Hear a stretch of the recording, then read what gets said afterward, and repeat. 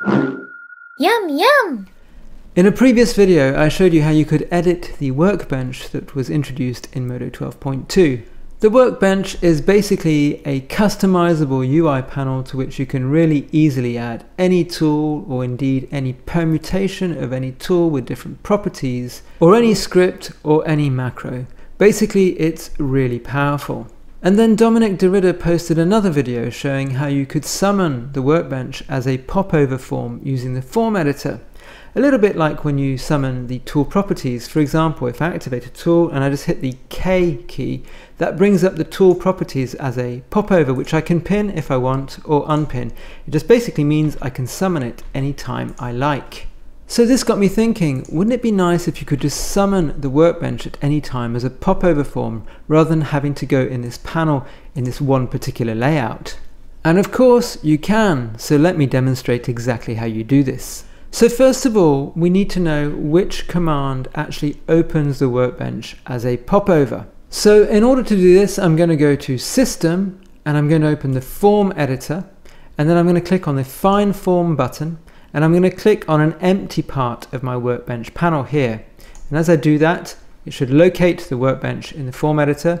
And then if I click on the preview form button, that's going to bring it up as a popover that I can tear away and pin. And now if I hit F5 to bring up my command history, I can look through the command history and find the command that was fired when I opened this workbench popover. And so I'll just select this entire command, copy it to the clipboard, and then just paste it into an empty notepad window. And then I'll return to Modo. And I'll dismiss the command history. The next step is to assign a keyboard shortcut. So I'm going to go to System, and I'm going to open the input editor. Now I know that hitting K will bring up the tool properties popover.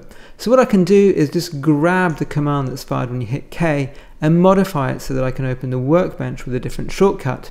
So I'm going to scroll down the list until I locate the shortcut that's attached to the letter K in the unqualified list. And if I just click on it once, that allows me to grab the text and copy it to the clipboard. Having done that, I'm going to hit escape and I'm going to return to my notepad and I'm going to paste this new command in. So the keyboard shortcut assigned to K fires this command.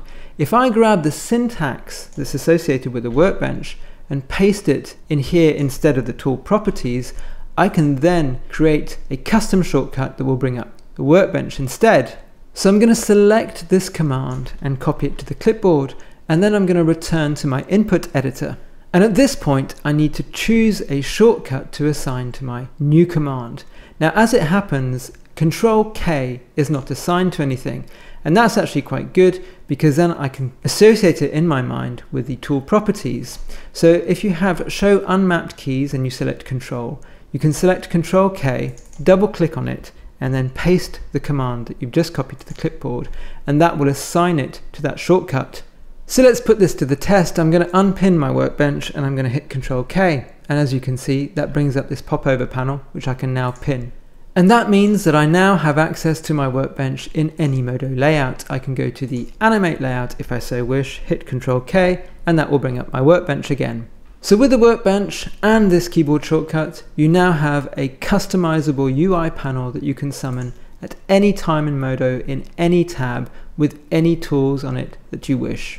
Now, the final step is to make sure that you never lose the work that you've created with these customizations. So the first step would be to go to Edit Workbench and to save your workbench form somewhere so that you can load it again at another time.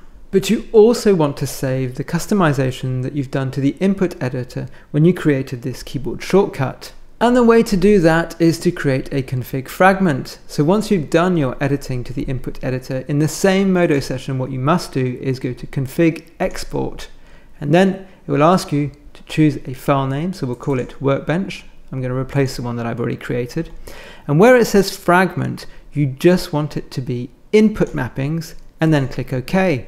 And then if you go to the system menu and open the user configs folder, you should be able to locate the CFG file that you've just saved out. And if you open it in a text editor, you should be able to check if everything's okay.